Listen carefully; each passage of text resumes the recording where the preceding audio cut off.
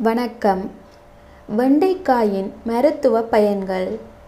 வெண்டைக்காயின் சுபாவம் குளிர்ச்சி. இது ஒரு சத்துள்ள உணவு. ஆனால் பிஞ்சு காயாக பார்த்து வாங்கி சமைக்க வேண்டும். இத்துடன் சீரகம் சேர்த்து சமைப்பது நல்லது. இது வறண்ட குடலை பதப்படுத்தும். இதில் வைட்டமின் சி பி ஆகிய உயிர்ச்சத்துக்கள் இருக்கின்றன.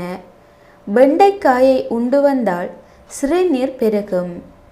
நாள்பட்ட கழிச்சல் நீங்கும். சூட்டை தணிக்கும்.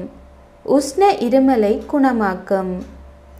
வெண்டைக்காய் உணவு விந்துவை கட்டிப்படுத்தி உற்சாகத்தை உண்டாக்கும். நல்ல வெண்டைக்காய் பிஞ்சுகள் சிலவற்றை தினந்தோறும் பச்சையாக வெறும் வயிற்றில் சாப்பிட்டு வந்தால் மருந்து இல்லாமலேயே இந்திரிய நஷ்டம் சரிப்பட்டு விடும் உடம்பில் வாய்வு மிக்கவர்கள் இதை அதிகமாக உண்டால் வயிற்று வலி ஏற்படுத்திவிடும்.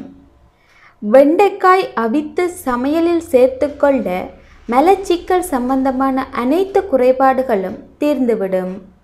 குடல் புற்றுநோய் வராமல் தடுக்க வேண்டுமென்றால் வெண்டைக்காயை சாப்பிடுங்கள். உடல் பருமனாக இருப்பவர்கள் உடம்பில் உள்ள கொழுப்புகளை கரைக்க வேண்டும் என்று எண்ணுவோர் வெண்டைக்காயை அதிகமாக சாப்பிட வேண்டும். அவ்வாறு சாப்பிட்டால் கொழுப்புக்கள் வெளியேற்றப்படும். சர்க்கரை நோய் உள்ளவர்கள் அல்லது வராமல் தடுக்க நினைப்பவர்கள் சாப்பிட வேண்டிய காய்கறிகளில் முக்கியமான ஒன்று வெண்டைக்காய் தான். இதை சாப்பிட்டு வர உடலில் உள்ள சர்க்கரையின் அளவு குறையும். இதய நோய்களுக்கும் வெண்டைக்காய் மிகவும் நல்லது. அதிலுள்ள சத்துக்கள் இதயத்திற்கு சென்று வலுவூட்டக்கூடியது. நிறைய பேருக்கு உடல் எடையை விட எலும்புகளின் இடையே அதிகமாக இருக்கும். அதற்கு காரணம் இந்த வெண்டைக்காய் தான் மூச்சு உள் இழுத்தல் வெளியிடுதல் தொடர்புடைய பிரச்சனைகளுக்கும் பயனுள்ளதாக வெண்டைக்காய் உள்ளது. கண்களில் குறைபாடு இருந்தால் வெண்டைக்காய் சாப்பிட்டு வந்தால் கண் பார்வை நன்கு தெரியும். எவ்வித குறையும் இல்லாமல் இருக்கும்.